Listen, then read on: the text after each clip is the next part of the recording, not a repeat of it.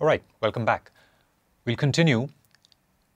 Where we left off with the previous segment was uh, in identifying the strong form of the linear elliptic PDE in one dimension. We sort of sketched out an approach to generating analytic solutions to the strong form.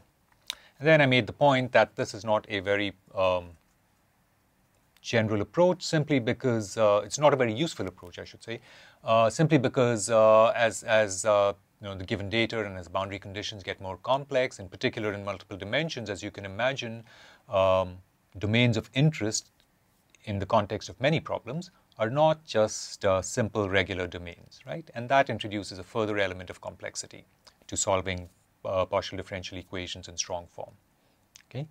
Um, so analytic solutions are limited and uh, one tries to find approximate solutions, okay? The first obvious uh, way to approximate any differential equation is to uh, go to something like a finite difference method, right? Where finite difference methods simply take any derivative and replace it with a difference. Okay? And this has spawned the whole class of, um, the whole field of finite difference methods. What we try to do with finite element methods is, is a little different. Okay? We take a, a mathematical approach that is fundamentally quite different. And the basis of that difference in approaches is to go from the strong form to, um, you guessed it, the weak form of the PDE. Okay, so that is the topic of this segment.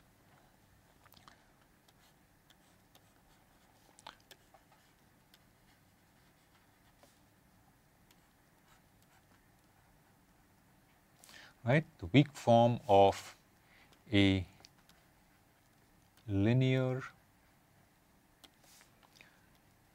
elliptic PDE in one dimension.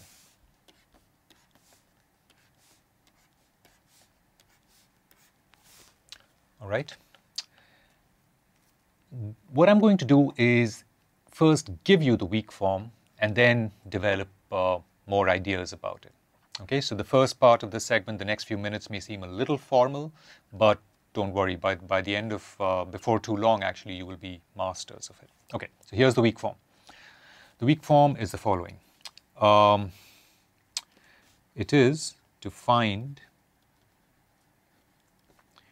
u, okay, u of x belonging to S. Now, S for us is a space of functions. We're talking of finding a function u, and when we say that it belongs to S, uh, we are thinking of S as some sort of collection of functions, right? Some sort of space of functions from which we expect to draw our actual solution u. Okay. Um, when I say space of functions, you may think of um, you know, any class of functions just to fix ideas, uh, polynomials or, you know, specific types of polynomials, Legendre polynomials or Lagrange polynomials, or you may not want polynomials, you may want to have harmonic functions, right, or, or exponential functions or something, okay? This is the sort of thing we, we have in mind when we say that U belongs to a space of functions S, okay? All right. Um, we want to say a little more about what the space of functions is okay? And we say that the space of functions u s, okay, consists of all u, right, such that u at 0 equals u naught, okay? Right? And um, so what I'm doing here is sort of building in the Dirichlet boundary condition, okay, into this uh, space of functions. What we're saying here is that we're only interested in solutions U which satisfy the Dirichlet boundary condition. Now, of course, there is a possibility of having two Dirichlet boundary conditions. When we saw the strong form, we observed that on the right end uh, of the domain at x equals L, we could have either another Dirichlet boundary condition or a Neumann boundary condition. It turns out to be a little cumbersome to develop the weak form for both cases, and so I'm going to develop the weak form for a single Dirichlet boundary condition, okay, at x equals 0. Later on, we will see what happens when we have Dirichlet boundary conditions at x equals 0 and x equals L. Okay? Right? If, if we did have that, we would build that condition also into the space S. Okay? For now, we're just saying that we have a single Dirichlet boundary condition. Okay? So what? So let me write that. We're assuming, we're, we're considering a case where the, the Dirichlet boundary condition uh, at holds at x equals 0 only. Okay? let me say actually, let's consider this case. Okay, just, just because otherwise it just gets a little cumbersome to develop the most general form. We'll come back to it. All right, so this is what we want to do. We want to find u belonging to this particular space uh, S, which for now is completely general. All we're saying is that it needs to satisfy the Dirichlet boundary conditions. Okay?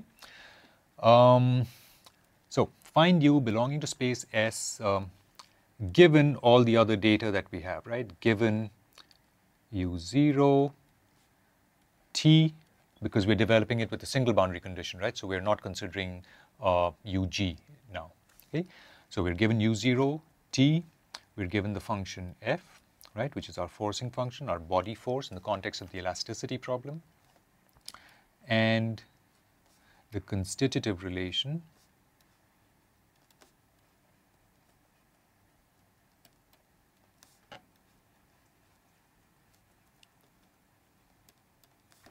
sigma equals E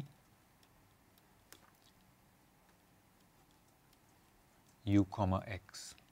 Okay, so we're given all this data, which, which was the same as, as the case for the strong form. Okay, however, there is more. Okay,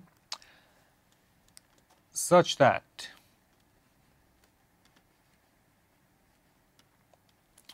for all w belonging to V. Okay, now this is new, right? Uh, this symbol is for all. Okay, right? So now we've done something new. We've introduced a new function W, which was not in the mix at all. We are saying that it is a function belonging to some space V. Okay, think of V as the same sort of concept uh, as S, right? If you think of S being some kind of polynomials, maybe V is the same sort of class of functions. But we want to say a little more about V. Okay, so V consists of all functions w such that w at 0 equals 0. Okay? So W also satisfies a Dirichlet boundary condition except that it is homogeneous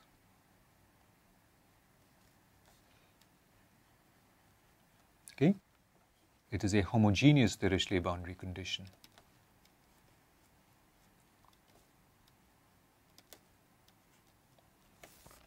Okay. If we had a, uh, if we were considering a boundary value problem with two Dirichlet boundary conditions on U at x equals 0 and x equals L, we would likewise have W at L also equal to 0. Okay. Note that so far W is something we've cooked up. We've just we've just conjured it up, so we're allowed to say what we want about W. Okay. All right. So let me read what we have so far. We're not yet done. Find U belonging to S, where S is that given u naught t f of x and, and the constitutive relation sigma equals e u comma x such that for all w belonging to v, where v is as specified, the following holds now. What holds? Integral 0 to L w comma x sigma dx equals integral 0 to L W f dx plus W at L t. All right? Essentially what I've done is go to an integral form. This is our weak form. Okay? I want to do just one more thing here. Observe that I'm integrating over x, right? And x really, uh, x, I'm integrating over x going from 0 to L, which is effectively uh, our volume in one dimension, right? Now, recognizing that though we're working in 1D, we're really thinking of problems that, um, you know, the canonical problem that we're considering here is that of elasticity, which actually has some uh, cross-sectional area, right, A, right, which could potentially be a function of x, okay? In order to make connection with what we're going to do when we go to multiple dimensions, I want to take the step of simply multiplying everything here through by A. Okay?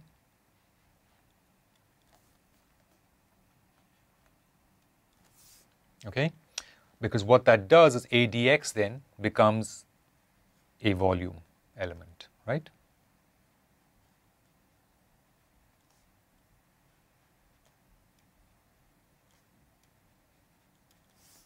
Okay, likewise here.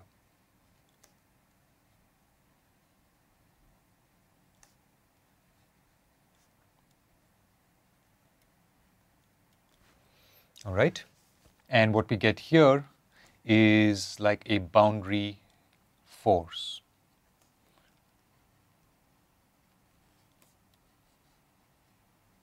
Okay, this will make the, the, the ultimate transition to three dimensions uh, completely seamless. Okay. All right, and, and a is allowed to be a function of x. Okay, so this really is our weak form of the equation. Okay, um, it's considerably different. If you don't have experience with this type of equation, it may look uh, as though it bears no relation at all to what we started with, right, to the strong form. It does bear a relation, right? In fact, we're going to show um, in a short time that it is completely equivalent to the strong form. This weak form, by the way, is the basis for approximations that lead to the finite element method. It's a, it is, it is, um, uh, it is a um, fundamental aspect of a class of um, uh, approximation or a, or a class of methods which are called variational methods.